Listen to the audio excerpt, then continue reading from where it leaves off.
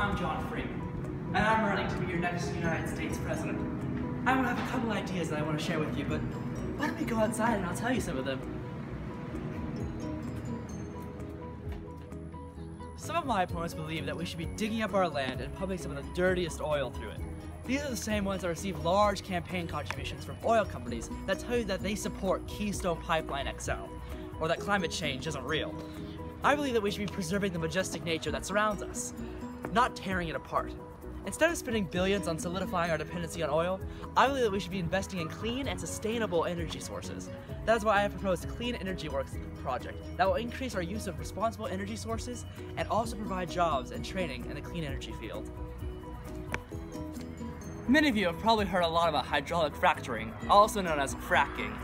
In short, hydraulic fracking pumps water, toxic chemicals, and other substances thousands of feet below the ground to force gas out. There are about 500,000 wells in America that can each be fractured about 18 times. If we crunch the numbers, we find that over 72 trillion gallons of water and 360 billion gallons are needed to run these wells.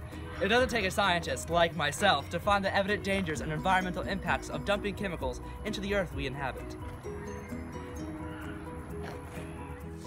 While many of my opponents acknowledge the benefits of solar and wind energy, none have taken any steps to fast track their deployments. Instead, they have suggested and even endorsed bills that would further our dependency on fossil fuels. Unlike my opponents, I have proposed and even endorsed bills that expand America's use of solar and wind energy. Additionally, I have legislature prepared that will transform our green energy sector and have at least 500 million solar panels deployed by 2024. Here's what we'll never run out of the sun and the wind around us.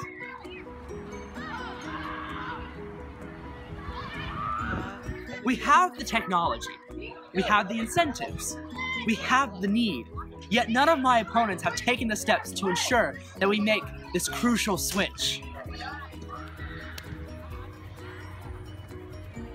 I love John Frink. He's the best. I'm John Frink, and I approve this message.